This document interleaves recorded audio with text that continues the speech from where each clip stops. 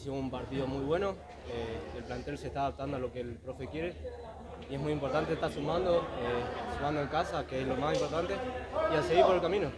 Aparte con buen juego hoy, ¿no? Porque prácticamente no lo dejaron jugar al gimnasio. Sí, sí, sí, supimos lo que queríamos hacer, jugamos bien, eh, entendimos lo que era el partido, eh, la verdad muy bien. Maxi, un buen arranque tuyo allá en Gualeguaychú, hoy lo volviste a ratificar. ¿Es tu mejor momento futbolístico? Sí, sí, la verdad que sí, estoy muy contento aprovechando las posibilidades, sumando para el equipo que es lo más importante y bueno, a seguir por el mismo camino para, para crecer más. Te emocionaste en el gol, eh, ¿qué se te cruzó por la cabeza? Y mucha felicidad. El camino es largo, eh, es muy duro, se trabaja mucho, se sufre, se pasan cosas, pero llega lo, lo permitido.